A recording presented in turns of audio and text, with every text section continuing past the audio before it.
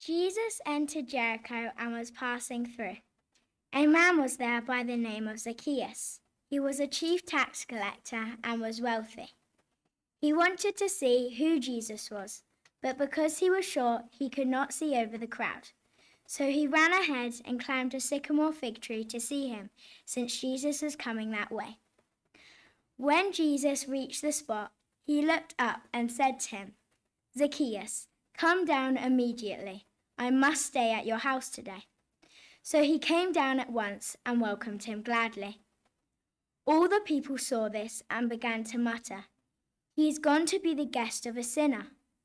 But Zacchaeus stood up and said to the Lord, Look, Lord, here and now I give half of my possessions to the poor, and if I've cheated anybody out of anything, I'll pay back four times the amount.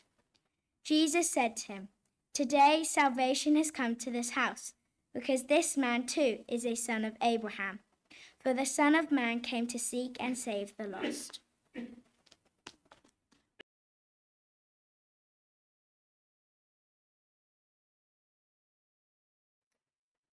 So, if you've got your uh, Bibles, if you could have them open then at the passage that was read to us from Luke um, and chapter 19.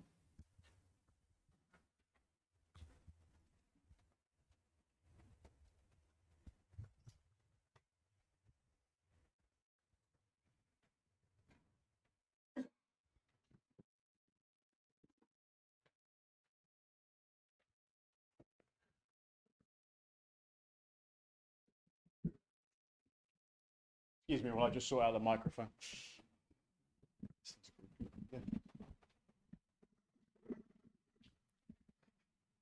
There we go. Didn't realize I was that much taller than everyone else. There we go. No, it's not having that either. There we go. There we got there in the end. Right, okay, so this morning we're looking at uh, that passage that was read to us, Luke 19 and verses 1 to 10. Um, I want to ask you a question. Are trees good? Seems like an odd question, doesn't it? Are trees good? Uh, you would have to have been living underground, wouldn't you, for the last 40 years if you didn't know the answer to that question? Of course, trees are good for us. There are well documented benefits of carbon uh, absorption that uh, we hear about so much in these days. But added to that, according to the Woodland Trust, trees boost our physical and mental health in so many ways, as well as keeping our atmosphere rich in oxygen, oxygen even. Uh, they filter pollutants from the air, shade our trees when it's hot, and even improve our immunity. Research has shown that uh, chemicals called phytoncides uh, released by plants and trees strengthen our immune, hormonal, uh, circulatory, and nervous systems when we breathe them in. Trees also improve our quality of life, apparently, offering relief from the symptoms of anxiety and depression. That's perhaps why it's so good when you go for a walk um, out in the forest. In our passage today, trees are, or, or most particularly one tree, plays a significant part in Zacchaeus' life. Now, you remember from last week, I'm sure, that Jesus is on his way to Jerusalem. He is headed to the pit of vipers that were his enemies. Uh, not enemies that Christ has chosen, by the way, but enemies that have chosen to hate him. They don't like him, they don't like what he stands for, they're not interested in what he has to say. They simply want him out of the way. And he's on his journey and he's heading through Jericho. And last time we looked at, at Jesus on this journey as he's heading towards Jerusalem, we discovered that uh, he met a blind man. He met a blind man uh, whose sight he restored, whose life he changed forever. In Jericho, there is another divine appointment waiting uh, for the Lord Jesus.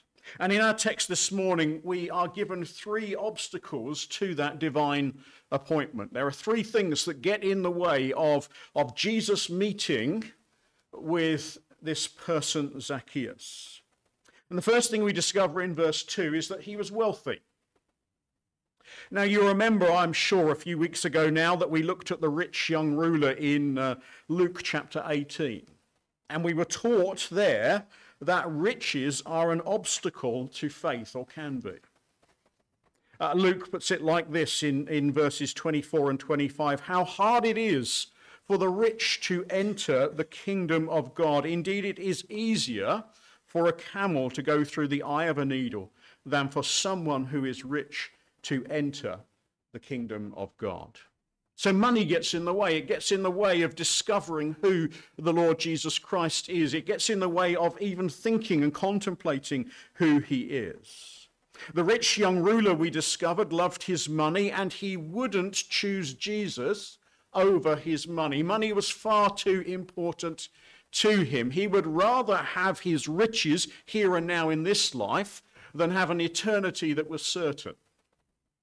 That was the reality of his life. Well, Zacchaeus is one step worse in his relationship to money. Not only does he love money, but he will do whatever it takes to get it, to get it. He is a man who really doesn't have many scruples, as it were. We're told straight away that his role, his job is a chief tax collector. Now, I know that we don't like uh, the inland revenue too much. Uh, we don't like it, that feeling at the end of the year when we see how much of a chunk of our money that they have taken. Uh, but we actually understand that there is, a, is an important um, process that goes on in order that the country might run. Well, here is Zacchaeus, and he is a man who is a Jew by birth, and he is working for the oppressors. He is working for the Romans who are in the land. He uh, is, he, he's, as it were, changed sides. If you went back to uh, the Second World War, it would be rather like, uh, and this happened in Jersey, that uh, some of the people suddenly decide to start working for uh, the, uh, the invading force. And immediately the populace begins to fall out with such. Their lives might be comfortable and easy, uh, but here is Zacchaeus who is on the wrong team. He is playing on the side of those who are the oppressors. In fact, he's turned his back on his people, and he seems to have no worries or cares or concerns about that. Money is more important than where he has come from.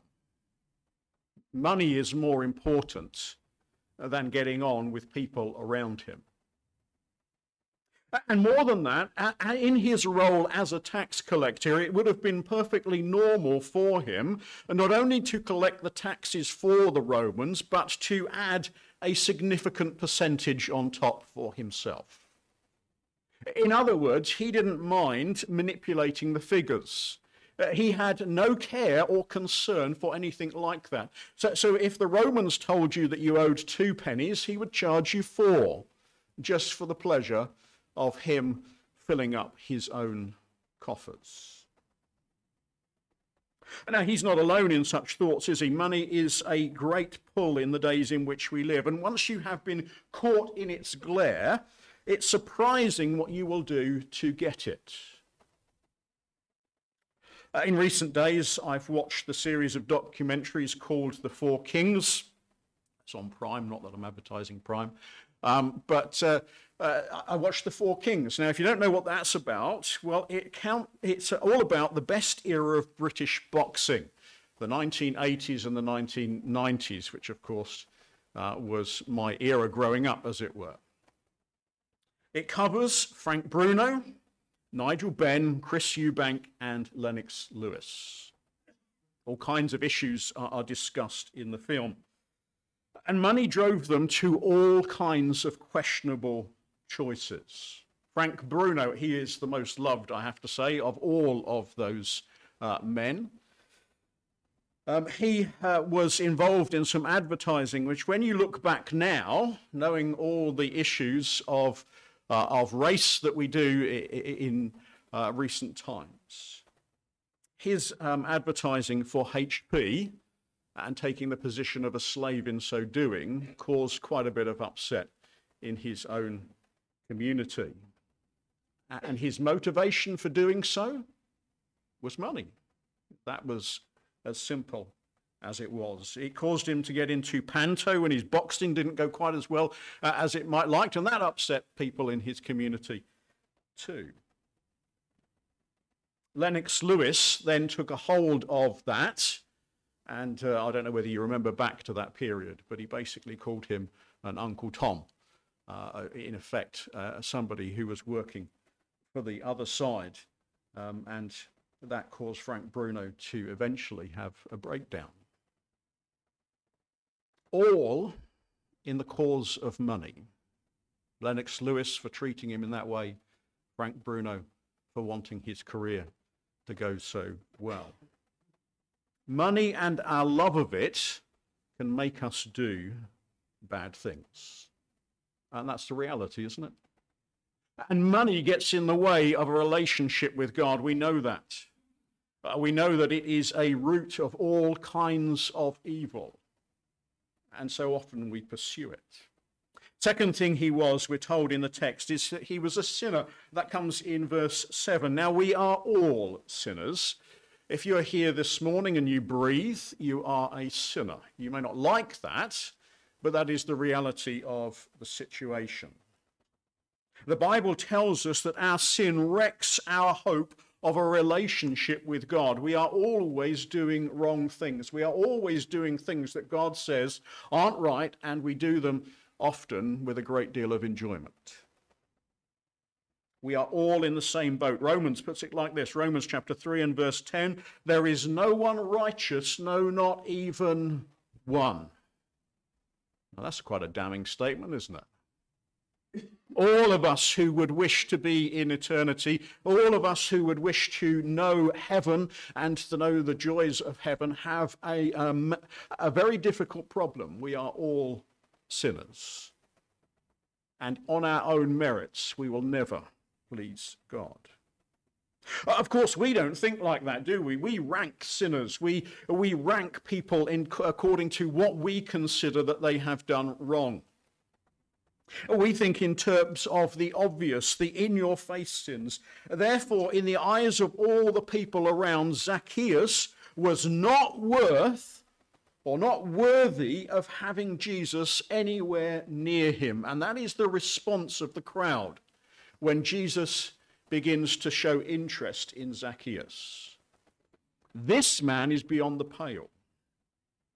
Now, we can deal with many things, but believing that Jesus would have time for a low life like Zacchaeus is not one of them. He has fleeced money out of people left, right, and center. He has no conscience.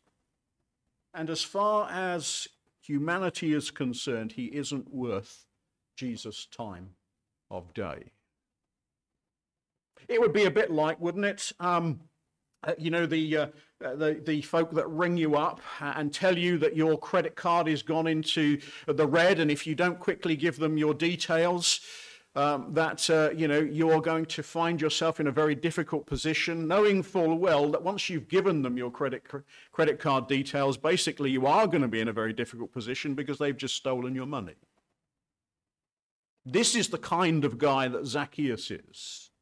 He's not nice. He's not someone that you want to know. And it's a barrier, isn't it, to knowing God?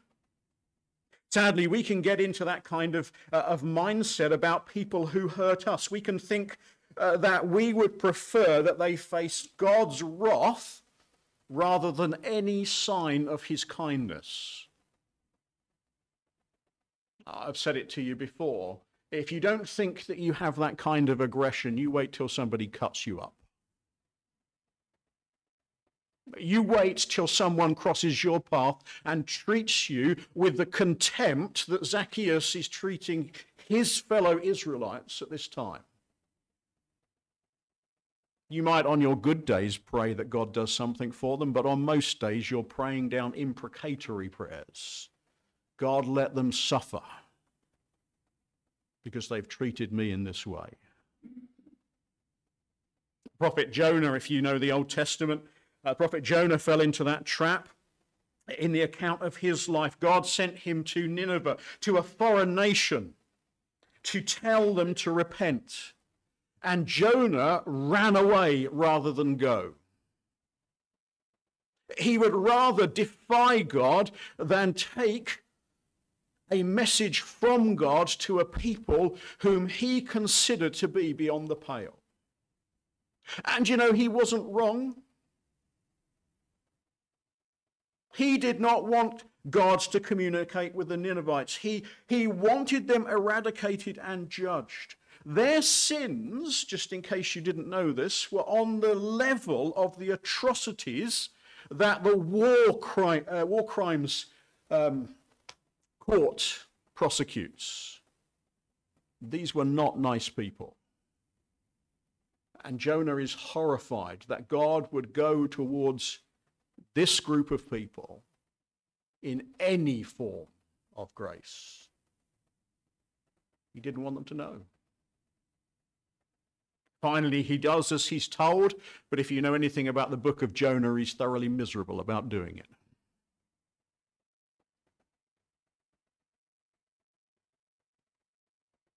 How can you be so gracious, Lord? He's a sinner. Third thing we discover, and it's perhaps not quite so in your face, but we discover that he's short. Verse 3 tells us that, doesn't it? Perhaps Zacchaeus' miniature stature drove him to pursue the, the, uh, the uh, career that he took. Perhaps he was fed up with being ridiculed for his height disadvantage. We're unkind as people generally, aren't we? Someone struggles or is different than us, we make fun of them. We make their lives difficult. Perhaps he viewed his, paper, his behavior towards other people as little more than they deserved. After all, he has been treated badly. Consider the complex that they have given him. He would make them serve him if they don't want to be his friends, if they don't want to treat him well. Now, I'm speculating. I don't know whether that's exactly what Zacchaeus is like, but you know, that's what we do, don't we? We blame the struggles on our, in our lives upon others.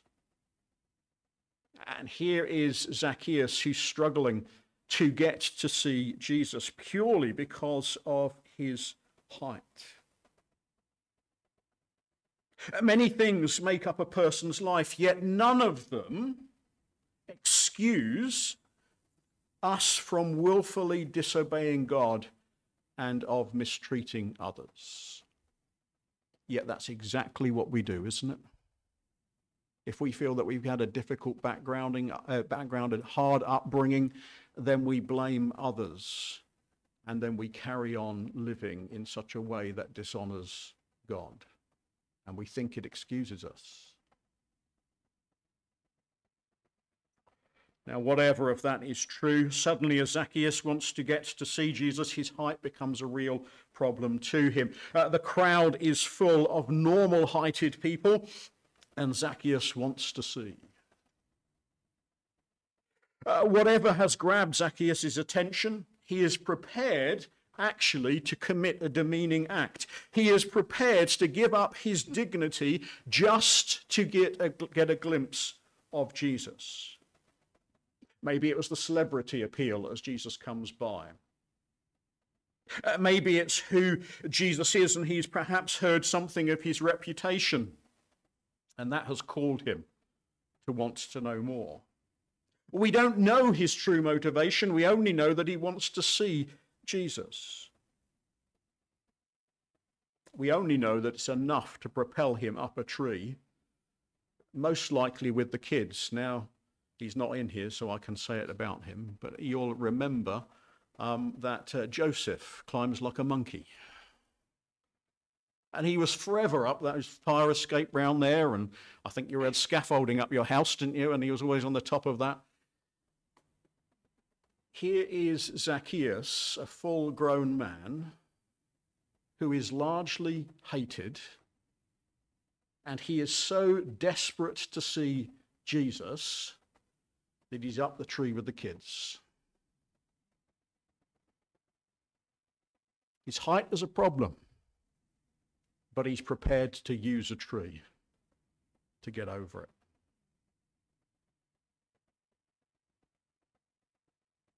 is the only thing that Zacchaeus could actually do, isn't it?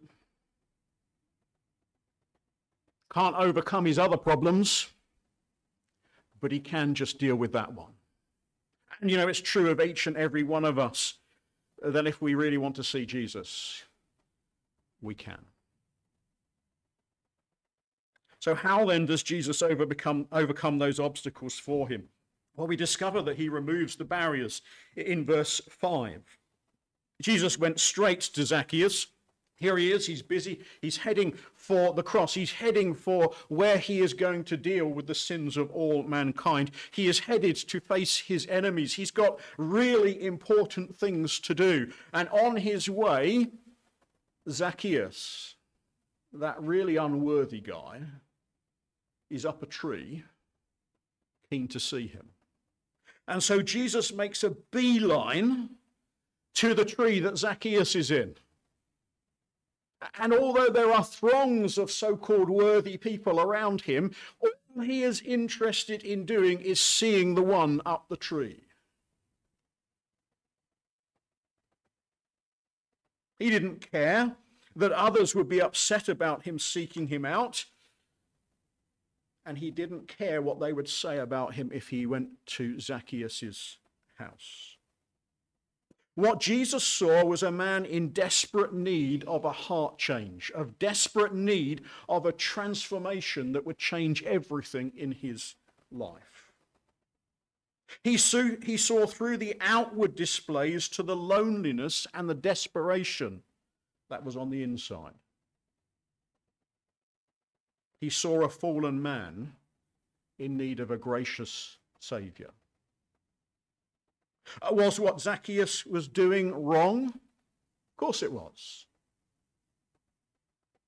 Was what Zacchaeus lived like how God wanted him to live? No. Was he beyond hope?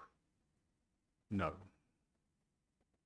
None of us are beyond hope. None of us have gone too far that Jesus cannot cast aside all of the barriers and invite you to dine with him.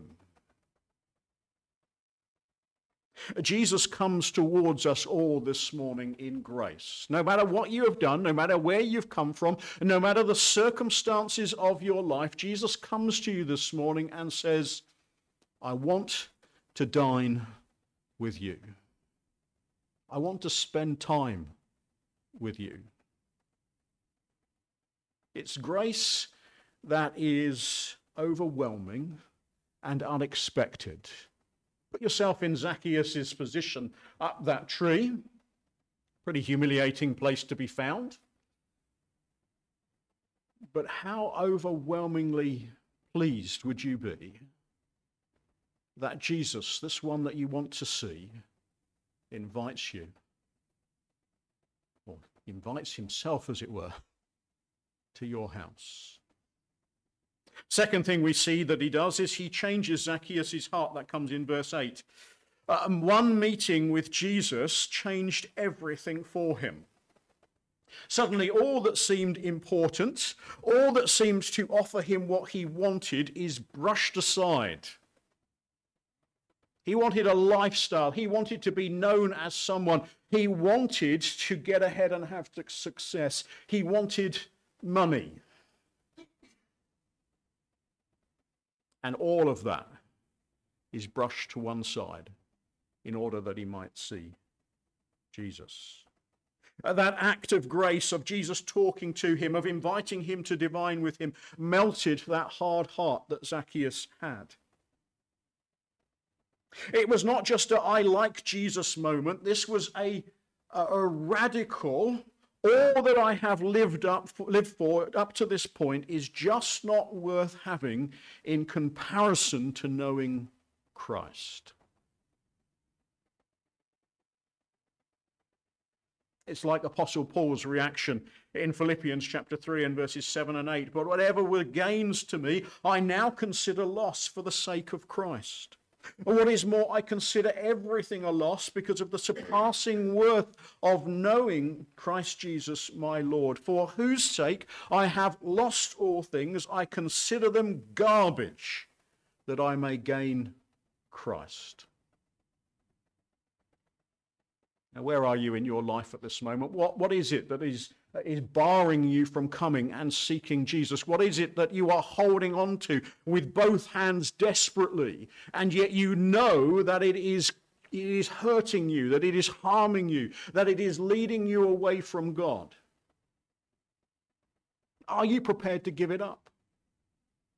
Because Jesus wants you to come to Him. Jesus wants you to open up your home, as it were, your heart to Him. He wants that He would dine with you, and what is getting in the way is all of that rubbish that you are holding on to. And all it is are but trinkets. They are not worth having, they are garbage, as Paul writes in his book to the Philippians.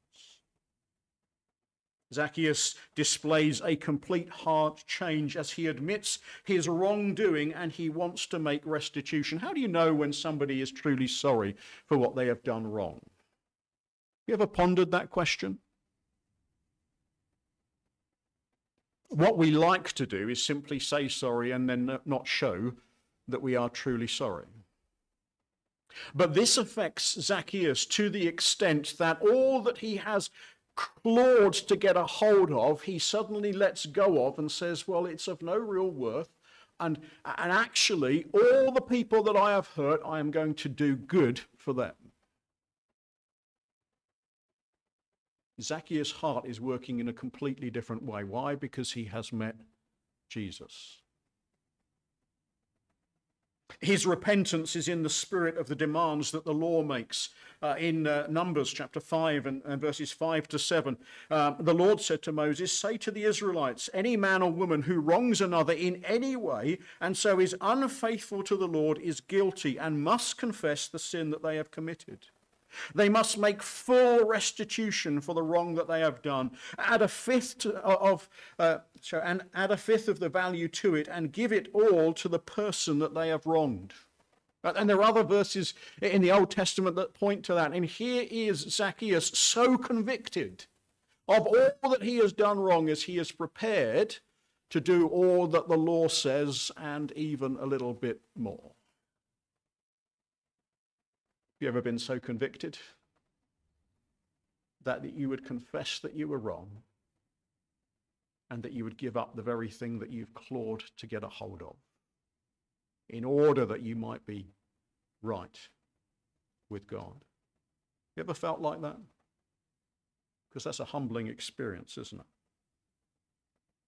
Now, we don't need to speculate whether Zacchaeus' heart has changed whether it's true salvation because Jesus makes it plain, even makes it plain in verse 9. Jesus said to him, Today salvation has come to this house because this man too is a son of Abraham.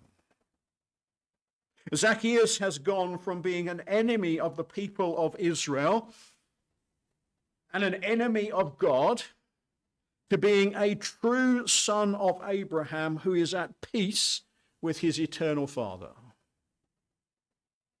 That's no small transformation. And Jesus has worked that work in his life. Who are the true children of Abraham? Well, we're told, aren't we, in Romans chapter 4 and verse 16? Uh, therefore, the promise comes by faith, so that it may be by grace and not be, uh, may, and let me try reading that again. Therefore, the promise comes by faith, so it may be by grace and may be guaranteed to all Abraham's offerings, not only to those who are of the law, but also to those who have the faith of Abraham. He is father of us all. If you believe in Jesus, if he has forgiven your sin, the Bible says you're a true child of Abraham. In other words, you are child by faith. And Zacchaeus has gone from being an enemy to being a true child of God. The only one who can mend your heart and bring you into the family of God is Jesus. Don't care what you've done this morning. I don't care how righteous you feel that you are. The only way that you will ever get into God's family, the only way that you will ever know an eternity which is secure, is to put your faith wholly and completely in Jesus Christ and Him alone. There is no other way. And that's what we're told, isn't it? The last verse. He comes to seek and to save the lost, verse 10. Verse 10 uh, gives us again the claim that Jesus is uh, the one promised of God who would become the forever king. He is the Son of Man. Going back to Daniel and the promise that is made there. His whole plan and purpose being to come and to rescue lost sinners just like Zacchaeus and just like you and me. If you are guilty of sin, if you aren't worthy of God, if you have uh, in one way or other messed up in your life, Jesus has come to rescue you. Don't look around yourself and think, well, I'm glad he's come to rescue whoever it is next to you. But consider this he's come to rescue you.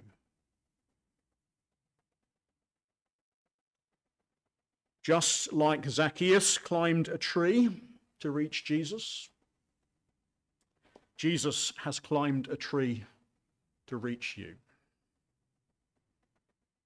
Not just any tree, but the tree of punishment designed for criminals.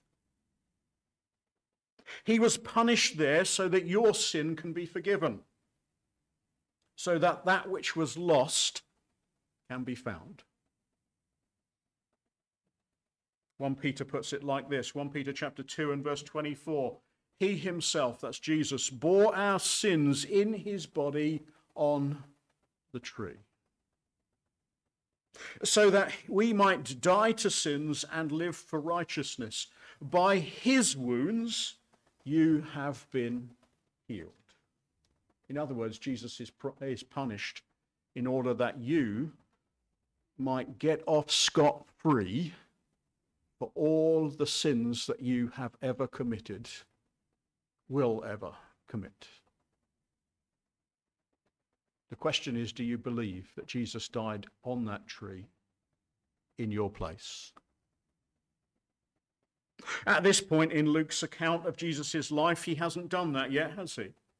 But the fact that it was already determined by God, the fact that Jesus had already decided, that meant that its power could reach back to save Abraham. It meant that its power could reach back to save Zacchaeus.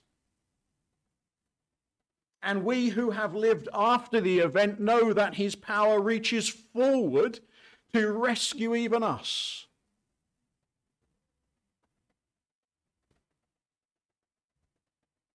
Christ today offers you, the guilty sinner that you are, to have your sins forgiven, your heart changed, and your life truly found, your soul saved. Isn't that too much to give up?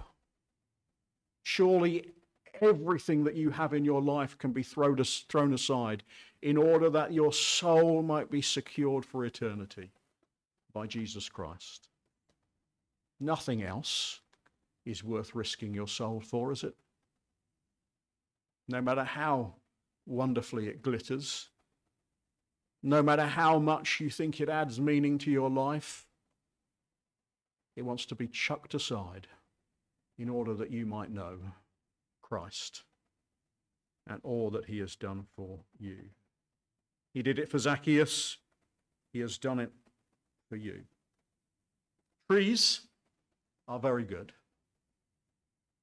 But the best role a tree ever played was the one on which Jesus completed his work of eternal salvation.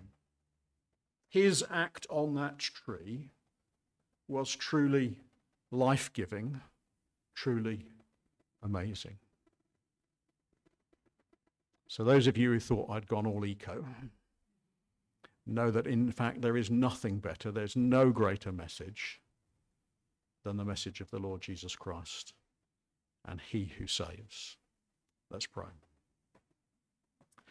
Loving Heavenly Father, we thank you that you are so very good to us. We thank you for the grace that is displayed to us in the Lord Jesus Christ. Father, help us to see how desperately unworthy we are of Christ, but help us to see desperately, too, how much we need him. Lord, forgive our sin, we pray, and grant that we might know Christ and know him in all his fullness. And we pray this in Jesus' name. Amen.